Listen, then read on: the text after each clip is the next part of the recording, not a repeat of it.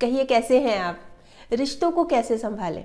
देखिए, जो रिश्ते हैं ना रिलेशनशिप हमारी ज़िंदगी में बहुत मायने रखते हैं और हम कहीं ना कहीं किसी ना किसी रिश्ते से जुड़े हुए हैं। जैसे घर परिवार से शुरू हो जाता है, एक सिंगल फैमिली भी होती है, एकल परिवार भी होता है, वहाँ से शुरू हो जाता है। मदर फादर भाई, बहन से होता होता दरानी, जेठानी, चाचा, चाची, नाना, नानी, दादा, दादी अनगिनत रिश्ते हैं और हम कहीं ना कहीं किसी ना किसी रिश्ते से बंधे हुए हैं। कई बार तो सब कुछ अच्छा चलता रहता है, कई बार रिश्तों में कड़वाहट आ जाती है रिश्तों में खटास आ जाती है। तो संभाल के कैसे रखें क्योंकि ये चीज़ तो है मानने वाली। रिश्ते बहुत मायने रखते हैं हमारी ज़िंदगी में। इसलिए हम सभी चाहते हैं, सभी चाहते हैं कि ये संभले रहें। हम इनको संभाल के रखें। रिश्तों में हमेशा प्यार बना रहे करवाहट ना रहे तो उसके लिए क्या करें? कैसे संभालें हम रिश्तों को? तो देखिए, हैं तो बहुत सारी बातें, पर जो मेरे हिसाब से, मुझे जो बहुत इंपॉर्टेंट लगती हैं, वो है सात बातें। मैं आपको एक एक करके बताती हूँ कि किस तरह से रिश्तों को संभाला जा सकता है। तो सबसे पहले और सबसे ज़्यादा ज़रूरी है कि अपना ख्याल रखिए। अपना ख्याल रखिए। हम ये सोचते हैं कि हम दूसरों का ख्याल रखेंगे और अपना ख्याल रखना भूल जाते हैं। तो ज़रूरत इस बात की है कि सबसे पहले अपना ख्याल रखें। देखिए, जैसे घर का मुखिया है हेड ऑफ़ द फैमिली वो कहता है कि मैं पूरे घर का ख्याल रखूँगा, खुद उसकी तबीयत खराब रहती है। खुद वो ठीक नहीं रहता तो कैसे ख्याल रखेगा? ऐसे एक हाउसवाइफ है। एक गृहिणी है, एक महिला है, वो ये कहती है, मैं अपने बच्चों का ख्याल रखूँगी। जबकि उसकी खुद तबीयत खराब रहती है। तो ज़रूरत क्या है कि सबसे पहले अपना ख्याल रखना है। अपना ख्याल रखेंगे तो सब ठीक है। हम अपनी तरफ़ से खुद एक्टिव रहेंगे, एकदम स्मार्ट रहेंगे, कोई दिक्कत नहीं है और तभी तो हम दूसरों का ख्याल रख पाएँगे। हम खुद ही सुस्त पड़े हैं लथार्जिक पड़े हैं, कुछ काम नहीं कर सकते तो हम दूसरों का ख्याल कैसे रखेंगे? देखिए, जैसे हम प्लेन में जाते हैं ना तो प्लेन में जाते हैं तो वहाँ अनाउंसमेंट होती है ना कि अगर कोई इमरजेंसी हो मास्क आएँगे, ऊपर ऑक्सीजन मास्क आएँगे। तो सबसे पहले आप खुद पहनना, फिर दूसरों की मदद करना। ये नहीं है कि पहले दूसरों को पहनाने लग जाओ, आपको खुद सांस नहीं आ रहा तो कैसे बात बनेगी? तो इसलिए ज़रूरत है अपना ख्याल रखने की। हर फ़ील्ड में, हर मायने में हम कुछ भी काम कर रहे हैं ना, अपना ख्याल रखना तो सबसे पहले है। तो रिश्ते संभालने के लिए सबसे ज़्यादा ज़रूरी है कि खुद का ख्याल रखें, जब भी तो दूसरों का रख पाएँगे। फिर दूसरी बात आती है, रिश्तों के बारे में सचेत रहिए। सचेत, एकदम जागरूक। एकदम ये सोचिए कि मैंने इनको सहेज के रखना है। हम बहुत नेग्लेक्ट कर देते हैं तो ये चीज़ नहीं करनी। हमने इसके प्रति जागरूक रहना है। जैसे मान लीजिए, एक पौधा है और पौधे को पनपने के लिए उसको अच्छी धूप भी चाहिए, अच्छी हवा भी चाहिए, अच्छी खाद भी चाहिए, पानी भी चाहिए, सब कुछ चाहिए, जब तो वो एक अच्छा पौधा बनेगा। ऐसे रिश्ते, रिश्तों को नर्चर करने के लिए, उसका पोषण करने के लिए, उसको प्यार, विश्वास, समर्पण पॉजिटिविटी इस तरह की चीज़ें चाहिए होती जब भी वो खूब फलता फूलता देखिए, लोग कहते हैं कि पैसा संभाल के रखो, बुरे वक्त में काम आएगा। पर अगर हम रिश्ते सहेज के रखेंगे ना, रिश्ते संभाल के रखेंगे ना तो बुरा वक्त तो ऐसे ही निकल जाएगा। तो इसलिए बहुत ज़रूरी है, इन रिश्तों के बारे में सचेत रहना, जागरूक रहना अवेयर रहना बहुत ज़रूरी है। तीसरा पॉइंट इसमें आता है टॉलरेंस टॉलरेंस जो कि आजकल देखे नहीं दिखती। कितना आ, कितने इम्पेशेंट हो गए हैं। बात बात पर लड़ाई झगड़ा चाहे हम सड़क पर जा रहे हैं चाहे हम घर में हैं कोई किसी की बात टॉलरेट ही नहीं करता। जबकि ये एक ना मंत्र है मतलब जो सारे परिवार को जोड़े रखता है। सहनशीलता सहन शक्ति ये जो चीज़ें हैं ना ये आ, कोई बोल रहा है हमें रिएक्ट नहीं करना। देखिए एक सीधी सी बात है कि जहाँ तर्क होता है ना तर्क बोलना बढ़ चढ़ के बोलना, बहुत बोलना। तर्क, वहाँ पे नर्क है। तर्क जो है ना, वो नर्क का द्वार है। और जहाँ पे हमने समर्पण कर दिया ना, वो स्वर्ग का द्वार है।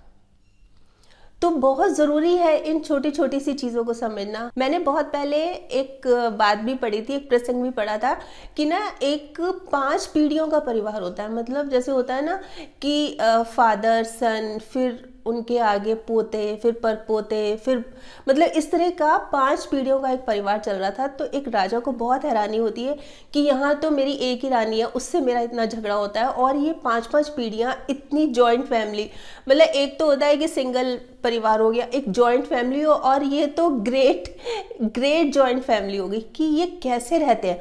और कभी भी किसी के चेहरे पे शिकन है, सब खुश, सब स्माइलिंग कैसे है ये? इनका राज क्या है? इस खुशी का राज क्या है? ये मिलजुल के रहने का राज क्या है? तो जो सबसे एजेड आदमी थे ना, उनके पास जाते हैं राजा और पूछते हैं कि क्या राज है? आप जो इतना खुश रहते हैं, क्या मंत्र क्या है? हमें भी बताइए, हम भी ऐसे अप्लाई करेंगे। तो वो पेपर पेन मंगाते हैं क्योंकि बहुत एजेड होते हैं, बोल नहीं सकते। तो उसमें सिर्फ़ एक ही चीज़ लिखते हैं, सहनशीलता। सहनशीलता सहनशीलता। ये लिख के देते हैं राजा।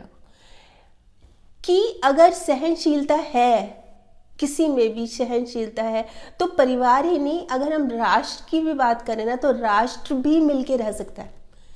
पर प्रॉब्लम क्या आती है कि टॉलरेंस नहीं है। ये रखनी, रिश्ते अगर संभालने हैं तो टॉलरेंस रखनी टॉलरेंस रखनी बहुत ज़रूरी है। चौथा पॉइंट इसमें आता है रिस्पेक्ट का। देखिए रिस्पेक्ट तो बहुत ज़रूरी है। हम अगर दूसरों को रिस्पेक्ट देंगे, तभी मिलेगी। हमें बहुत आराम से रिस्पेक्टफुली आदर मान दे के काम करना चाहिए, परिवार को संभालना चाहिए। देखिए रिस्पेक्ट में हम अलग अलग चीज़ें कर सकते हैं। जैसे कि हम किसी की बात सुन रहे हैं तो समझ लीजिए कि हम उसको रिस्पेक्ट दे रहे हैं। हम किसी की फीलिंग्स को समझ रहे हैं तो समझ लीजिए कि हम उसको रिस्पेक्ट दे रहे हैं। सुनना, बोलना, माफ़ी मांगना, माफ़ करना, एक दूसरे को अप्रिशिएट करना। ये सब बहुत ज़रूरी है। देखिए, कितने झगड़े, मैं अगर हस्बैंड वाइफ की बात करूँ तो इस बात से होते हैं कि लेडीज़ का ये कहना होता है कि हस्बैंड के पास टाइम ही नहीं है, वो हमसे बात ही नहीं करते। तो कितनी ज़्यादा वो लेडीज़ नेगेटिविटी में चली जाती हैं तो हस्बैंड्स को भी ये चाहिए कि टाइम दें। चाहे आधा घंटा, चाहे एक घंटा, पर उनकी सुने। ये बहुत ज़रूरी होता है। देखिए, ये जो चीज़ें हैं ना, एक हम अगर रिश्तों को संभाल के रखना चाह रहे हैं तो ये चीज़ें अप्लाई करना ज़िंदगी में बहुत ज़रूरी है। पांचवा पॉइंट इसमें आता है टीम वर्क का। अब आप ये सोच रहे टीम वर्क टीम वर्क तो हमने ऑफ़िस में सुना है। भी मिलके कोई प्रोजेक्ट कर रहे हैं तो चलो टीम बना ली और सफल भी हो रहे हैं। घर में भी होता है। देखिए, मैं आपको एक सिंपल सा एग्जांपल देती हूँ कि पाँच छः लोगों की एक फैमिली है और उस फैमिली में किसी गेस्ट ने आना है, ठीक है? अच्छा सारा काम एक ही लेडी हाउस वाइफ जो है वो कर रही है। वो क्या कर रही है? पहले तो उसने सफ़ाई की, सुबह उठ के सफ़ाई की घर की, फिर उसके बाद सबको नाश्ता बना के दिया, फिर वो मार्केट जाएगी। मार्केट से वो शॉपिंग करके आएगी, जो खाना रात को बनाना है, जहाँ पे गेस्ट आ रहे हैं। फिर वहाँ से सारा सामान खरीद के फिर खाना बनाएगी, फिर उसके बाद सारी टेबल वगैरह लगाना, फिर सर्व करना, सबको खाना खिलाना, रात को बर्तन धो के सोना। यहीं पे अगर टीम वर्क होता मिल के काम कर रहे होते सबने अपनी अपनी ड्यूटीज़ बांट ली होती कि मैंने मार्केट जाना है, मैंने सफ़ाई करनी है, मैं जब गेस्ट आएँगे, उनको मैं सर्व करूँगा। इस तरह से करते तो टेंशन का नामो निशान नहीं रहता। ना एक अकेली लेडी को बहुत ज़्यादा बर्डन उठाना पड़ता, सब कुछ आराम से हो जाता। जैसे मान लीजिए एक फैमिली में एक आदमी बीमार है, वो हॉस्पिटल में अब एक ने ये कह दिया कि मैं तो हमेशा इन्हीं के पास बैठूँगा। एक ने कहा कि मैं किचन में संभालूँगी और जो भी अच्छा खाना है लाइट खाना है, जो उनको जाना है, वो मैं बनाऊँगी। एक ने ये कहा कि जो भी घर पे गेस्ट आते हैं, हालचाल पूछने के लिए, जैसे आते ही है ना कि कोई बीमार है तो मैं उनको अटेंड करूँगा। तो काम बांट लिया तो टेंशन ही नहीं रही ना। जैसे मैं बोल रही थी कि अगर हम रिश्तों को सहेज के रखेंगे, रिश्तों को संभाल के रखेंगे तो बुरा वक्त तो ऐसे ही निकल जाएगा।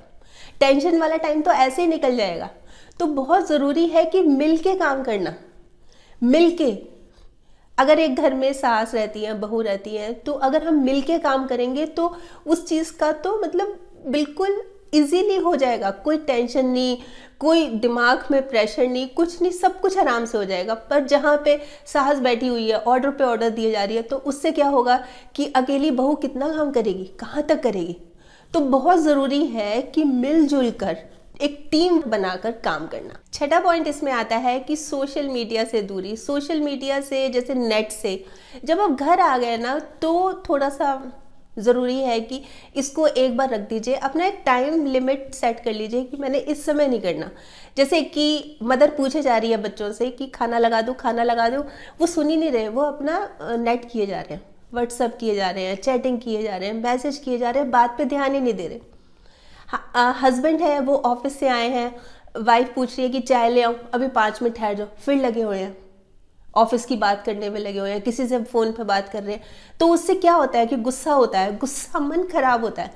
एक लड़का है, वो बहुत समय के बाद अपने पेरेंट्स से मिलने आया है, जैसे बाहर जॉब करता है तो वो आते ही क्या करता है कि पेरेंट्स की फ़ोटो लेता है कि जैसे मैं उनका आशीर्वाद ले रहा हूँ, पाँव छू रहा हूँ, और उसको फ़ोटो को अपलोड कर देता है फेसबुक पे अलग अलग जगह पे। कमेंट्स आने शुरू हो गए तो उनका जवाब देना शुरू कर दिया, वो बैठे हुए हैं बेचारे। उसका मुँह ताक रहे हैं। वो बताया जा रहा है कि मेरे को इतने कमेंट्स मिल गए, इतने लाइक मिल गए। उनको क्या इंटरेस्ट है उसमें? उनको तो ये है कि बेटा इतने दिनों बाद आया बैठ के बातें करे हमसे, रख दे इसको। सारे सारे टाइम साथ ही तो रहता है ये मोबाइल मुआ मोबाइल साथ ही तो रहता है। रख दे थोड़ी देर। थोड़ी देर हमसे बात कर ले। यही तो चाहते हैं। यही नहीं समझते हम।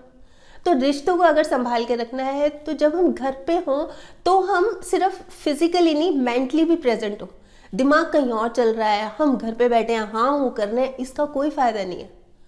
तो बहुत ज़रूरी है, इस बात का, रिश्तों को अगर सहेज के, संभाल के रखना है तो हम फिजिकली तो हुई हो मेंटली भी बहुत ज़रूरी है, वहाँ पे प्रेजेंट रहना। सातवां पॉइंट आता है, देखिए, जहाँ पे हम बात करते हैं नेट से दूरी बना के रखो। नेट जहाँ पे बहुत टाइम लेता है लोगों का बिज़ी हो जाते हैं लोग फ़ोन पे सारा समय चैटिंग मैसेजेस ये, वो लगे रहते हैं तो उस समय एक चीज़ उभर के आती है। और वो आज की सबसे बड़ी प्रॉब्लम है, वो ये है कि ट्रस्ट विश्वास, ये सबसे बड़ी प्रॉब्लम है। तो मेरा नेक्स्ट पॉइंट सातवां पॉइंट इसी बारे में है कि विश्वास होना बहुत ज़रूरी है। हम आ, ये सबसे बड़ी जो प्रॉब्लम है ना ये फ़ोन से आती है मोबाइल से। कितनी लेडीज़ जैसे यहाँ पे भी मेरे पास कमेंट्स में भी लिखते हैं तो मोबाइल को ही दोष देते हैं कि सबसे बड़ी प्रॉब्लम ये है। हस्बैंड किसी से बात कर रहे हैं चैटिंग कर रहे हैं वॉइस कॉल कर रहे हैं मैंने सुनी है मतलब ट्रस्ट नहीं है। लाइफ में अपने रिश्तों में ट्रस्ट नहीं है। बताइए कैसे बात बनेगी? विश्वास ही नहीं होगा तो कैसे बात बनेगी? कितनी लेडीज़ कहती है, मैंने उनका फ़ोन चेक किया किस लिए किया? रिश्तों को अगर संभाल के रखना है ना तो विश्वास रखना, विश्वास करना बहुत ज़रूरी है। नहीं तो ख़त्म, सब ख़त्म द एंड बहुत ज़रूरी है। एक बार विश्वास कर लीजिए, मान लीजिए और अगर बात करते हैं, देखिए, अगर कोई लेडी ऑफ़िस जाती है, वो किसी से बात करती है तो बात तो सिंपल वे में भी हो सकती है। ना, ज़रूरी नहीं होता कि बस एक ही मतलब होता है। और अगर बहुत ज़्यादा कोई कन्फ्यूज़न है, फिर बैठ के बात करनी चाहिए। पर इस तरह से रिएक्ट करना और शक करना, हमें अगर रिश्ते संभाल के रखने हैं तो हमें उसके प्रति लॉयल रहना पड़ेगा। ये बहुत ज़रूरी है। वो कहते भी हैं ना कि रिश्ते खून के नहीं, एहसास के होते हैं। अगर एहसास है तो अजनबी भी अपने हैं। और अगर एहसास नहीं है तो अपने भी अजनबी। ज़रूर सोचेगा इस बारे में। और वैसे आप क्या सोच रखते हैं? रिश्तों को कैसे संभाल के रखें या आप किस तरह से संभाल के रख रहे हैं? ज़रूर बताइएगा। आपके कमेंट्स का मुझे इंतज़ार रहेगा। तो कल फिर मिलूँगी। तब तक स्माइल भी रखिए और पॉजिटिव रहिए और पॉजिटिव सोचिए। और हाँ अगर आपने मेरा ये यूट्यूब वाला चैनल सब्सक्राइब कर लिया तो आपका बहुत बहुत और बहुत सारा धन्यवाद। नहीं किया तो प्लीज़ कर लीजिएगा और सब्सक्राइब करने के साथ साथ ना इसमें जो एक बेल का बटन है, ये भी दबा दीजिएगा ताकि जब भी, जैसे ही मैं कोई वीडियो अपलोड करती हूँ। आपके पास नोटिफिकेशन या मैसेज आ जाए। और अगर आपको ये वीडियो अच्छा लगा तो प्लीज़ आप इसको शेयर भी कर लीजिएगा, ठीक?